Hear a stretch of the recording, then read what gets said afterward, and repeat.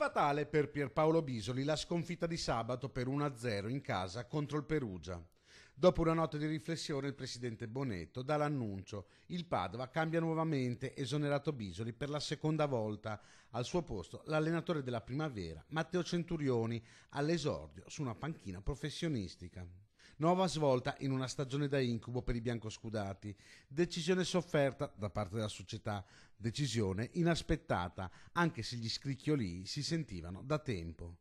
La mancanza di risultati e una situazione di classifica preoccupante hanno portato a questo nuovo licenziamento. Dopo la gara col Perugia, i vertici del club si erano trattenuti a lungo per decidere il futuro di squadra e allenatore.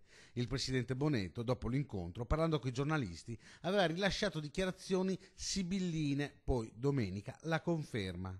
Ora tocca a Matteo Centurioni raddrizzare una stagione che sembra proprio non voler andare per il verso giusto.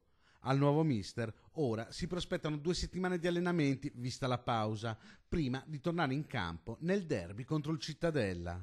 Alla compagine biancoscudata servono quattro vittorie e due pareggi nelle prossime otto gare. Impresa difficile ma non impossibile, vietato sbagliare.